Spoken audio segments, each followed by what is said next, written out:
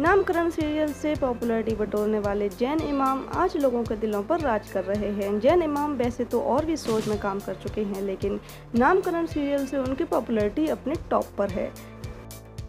जैन इमाम अपनी एक्टिंग के लिए तो मशहूर हैं ही, वहीं उनकी क्यूटनेस की लड़कियाँ भी काफ़ी दीवानी हैं। नामकरण सीरियल में उनकी जोड़ी अदिति राठौर के साथ लोगों के द्वारा काफ़ी पसंद की जाती है। दोस्तों, आज हम इस वीडियो में आपको दिखाने जा रहे हैं कि जैन इमाम का घर अंदर से कैसा दिखता है। जैन इमाम के घर की कुछ अंदर की फ़ोटो हम आपके लिए ढूंढ कर लाए हैं। आइए डालते हैं एक नज़र।